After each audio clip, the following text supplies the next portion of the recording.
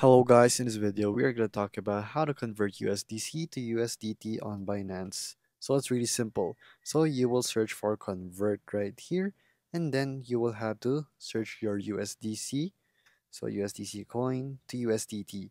So depending on how much USDC you have, you will convert it to USDT. So let's just say you have a thousand USDC and you will convert it to USDT.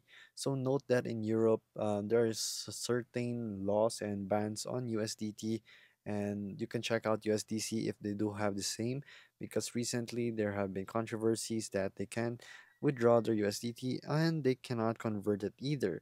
So here you will have to make sure that you're in Europe or not in Europe for this to essentially work at smoothly and most possibly the most um non threatening way for your crypto balance.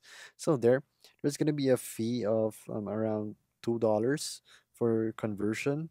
So that's your slippage basically, and then you will just have to trade it right here, and then of course it's gonna confirm the order right here, and then there you go. It's just that simple. So that's how you convert USDC to USDT on Binance. Just search for the convert and you'll be able to convert it. So you can't do limit orders since it just stays at one certain price most of the time. So there you go.